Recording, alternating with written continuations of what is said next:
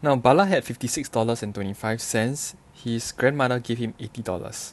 Subsequently, he spent okay $59.70 on a watch. How much money had he left with?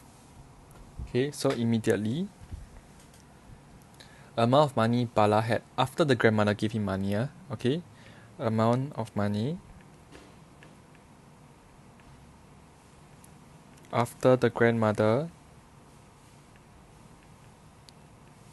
give Bala that would be $56.25 plus $80 and that will give us 136.25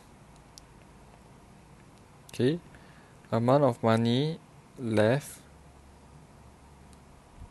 After the watch right that will be 136.25 minus the cost of the watch which is $59.70 okay. That will give us $76.55 now the question is asking us to round off to the nearest $10 so immediately I will just look at the digit ones.